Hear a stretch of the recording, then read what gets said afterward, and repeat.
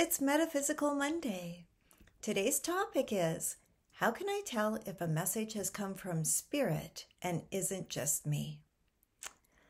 A big part of being psychic is being self aware and noticing the subtle energy cues that occur when you are connected with spirit.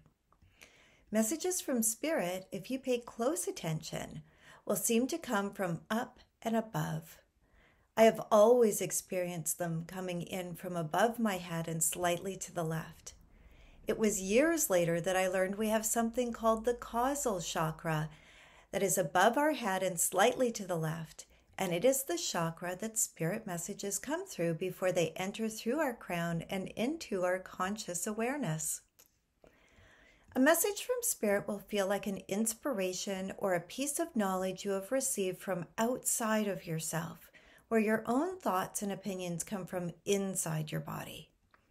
If it surprises you or is information you didn't know before, you can give it weight because you don't have the ability to surprise yourself. Of course, you are always looking for the indicators we have discussed before as well higher chakra activation, feeling wrapped up in love, and messages that are supportive, encouraging, positive in nature, and honor your free will growth and healing are all hallmarks of a connection with a higher being.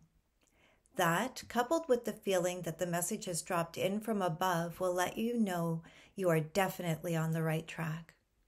Over time, you will get very good at recognizing the feeling of being connected with your guides and angels, but in the beginning, it is wise to always look for those indicators every time you connect and above all, practice.